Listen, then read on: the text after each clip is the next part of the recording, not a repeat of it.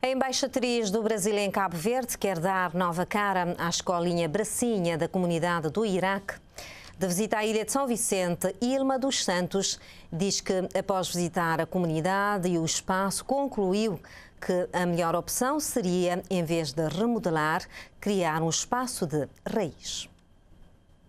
De visita à ilha de São Vicente, a embaixatriz do Brasil em Cabo Verde, Ilma dos Santos, que marcou presença na final da Taça da Liberdade, organizada pelo Clube de Golfe da ilha, falou com a TCV sobre o projeto social que pretende implementar na ilha. Vim para cá para fazer uh, um trabalho social na comunidade iraque. Na verdade, a gente está tentando ajudar uma, uma creche que tem lá, é, com crianças de, de 3 a 8 anos, eu acho se eu não me engano. E isso, a gente está tentando ver se constrói. Vamos ver se a gente consegue construir uma, umas salas de aulas para eles lá.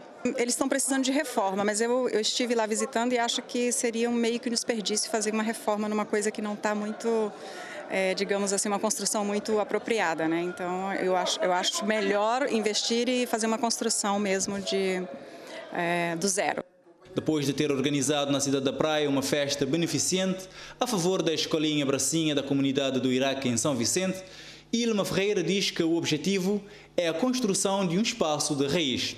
Pois é, eu tenho um projeto que se chama Constru Festa e aí eu estou trabalhando com isso. Eu faço festa, organizo festas com meus amigos, os parceiros, as pessoas que da comunidade que gostam de, de contribuir de alguma forma, é, vendo os tickets, consigo os ingressos, é, é, como é que é? Consigo o dinheiro e a gente constrói.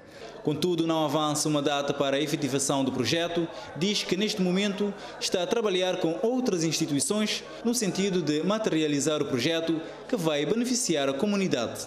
Vamos ver se eu consigo fundos para isso. É, já, a gente já está trabalhando uh, para conseguir. Eu acho que vai dar certo, sim. Agora está dependendo também da Câmara Municipal aí para ver se consigo autorização para utilizar o terreno.